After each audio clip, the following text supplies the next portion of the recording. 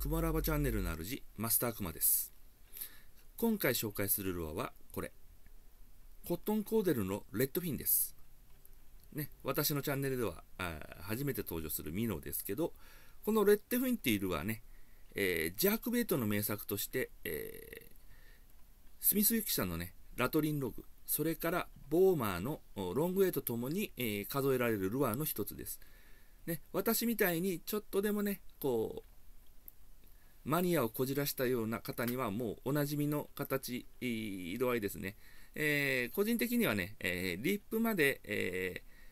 ー、コーティングが乗って塗装してあるのが特徴の一つだと思っています。で、このレッドフィンが他の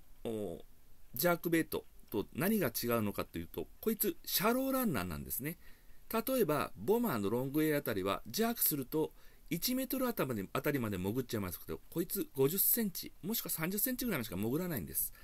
ですから、え使い分けっていう点で、シャローエリアでジャークベットとかするときは、このレッドフィンっていうね、えー、ルアーは非常に有効なんじゃないかなと思っています。でその高い浮力と合わせ持って独特な動きをするルアーですし、こういうね、メタリック、ね、リップまでメタリックのルアーっていうのは、このコットンコーデルのね、レッドフィンぐらいしかあんまりお目にかからないんで、えー、フラッシングの効果なんかもかなり期待できるルアーなんじゃないかなと思っています。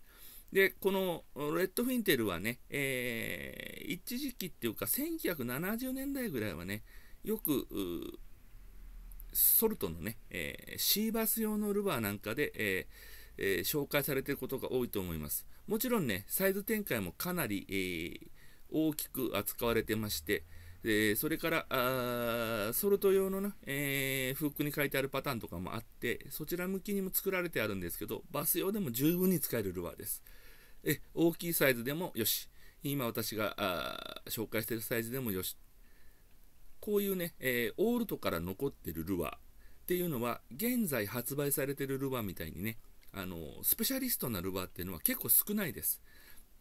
で特にこのジャークベイトなんかはねえー、今だったら非常に弱しやすいジャークベッドなんかも売ってるんですけど、先ほどね、挙げたロング A、それから、えー、ラトリンログとこのレッドフィンあたりなんかは、おそらくジャークベッド専用に作られてないんじゃないかなと私は思ってます。で、えー、今3つはね、ちゃんとただ巻きしても泳ぐし釣れます。で、スペシャリストではないですけど、使い手のね、技術次第、えー、それから使い方次第でね、えー、そういうルアーに変更していったっていうのが、オールドルアー、昔から生き残ったルアーの特徴の一つでもあります。えー、ですからね、え、スペシャリストはないですけど、使い込めるレベル、実力を身に備えていると、奥が深いルアーっていうのも、これまたオールドルアーの魅力の一つだと思います。